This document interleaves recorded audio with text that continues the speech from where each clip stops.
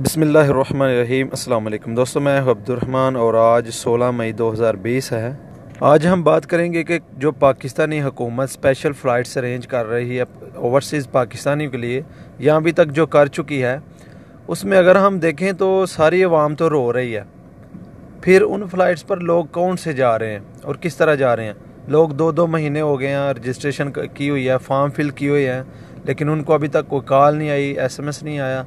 कोई इनको इन्फॉर्म नहीं किया गया कि आपकी इस दिन टिकट है तो फिर उन फ़्लाइट्स पर कौन लोग जा रहे हैं? इसकी तो समझ किसी को भी नहीं आ रही। आप इनके ट्विटर पर अकाउंट पे जाएँ तो वहाँ पे 99 परसेंट जो कमेंट हैं, वो नेगेटिव हैं। अभी मैं आपको ले भी चलता हूँ और दिखाता हूँ यहाँ पे। ये जी ministry of overseas Pakistani Twitter account है ऑफिशियल तो यहाँ पे थ्री आवर्स पहले इन्होंने एक ट्वीट की है कि पाकिस्तान ने अभी तक ऑपरेट की हैं एक सौ सतासठ फ़्लाइट्स ओवरसीज़ पाकिस्तानियों के लिए टिल 11 मई।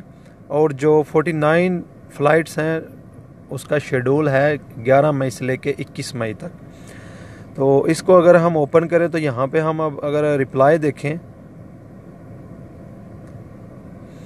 तो यहाँ पे 99 परसेंट जो हैं वो कमेंट्स हैं नेगेटिव हैं कि भाई हमने ये देखें, ये कह रहे हैं कि हमने सात अप्रैल को अप्लाई किया था, ये शायद दुबई से हैं, जी दुबई से हैं, और अभी तक इनको कोई भी रिस्पांस नहीं आया, कोई कॉल नहीं आई, कोई मैसेज नहीं आया।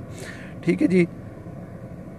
एक भाई कह रहे हैं पीआई के पास बत्तीस तो टोटल जहाज़ हैं, आप क्या लाओगे किसी और को भी? साथ मिलाएँ कमर्शियल फ़्लाइट ओपन करें। तो ये मैंने हर दफ़ा देखा है, खुरम बट ये शायद सऊदी अरब से हैं, हर हर ट्वीट पर, हर इनके ट्वीट पर ये कमेंट करते हैं और इनको सऊदी अरब के लिए कहते हैं कि भाई सऊदी अरब के लिए फ़्लाइट चलाएँ तो शायद ये सऊदी अरब से हैं। यहाँ पे अगर आप कमेंट देखें तो 99 परसेंट मुझे तो लगता है कि कमेंट जो हैं वो नेगेटिव हैं। दो दो महीने लोगों को हो गए हैं कि लोगों ने रजिस्ट्रेशन की हुई है सऊदी अरब में। दुबई में ज़्यादातर जो लोग परेशान हैं, वो सऊदी अरब और दुबई में है। सबसे ज़्यादा दुबई हैं, उसके बाद सऊदी अरब में। दुबई और अबूज़बी के लिए फ़्लाइट बढ़ा दें, और इधर लोग सख्त मुश्किल में हैं, लोगों के पास खाने पीने के लिए पैसे नहीं, जो जमा पूंजी थी, ख़त्म हो गई। ये भी दुबई से हैं। सो दुबई और सऊदी अरब में ज़्यादा मुश्किल हैं तो प्लीज़, हमारी रिक्वेस्ट है पाकिस्तानी गवर्नमेंट से, जुल्फ़ी बुखारी शाह साहब से, कि लोगों की मदद करें। इन हालात में ओवरसीज़ पाकिस्तानियों का साथ दें। इन भाइयों ने भी यहाँ पे देखें सिक्सटीन अप्रैल को इन्होंने रजिस्टर किया रजिस्टर किया था तकरीबन एक महीना हो गया इनको अभी तक रिस्पांस नहीं आया अबू धाबी अबू धाबी से।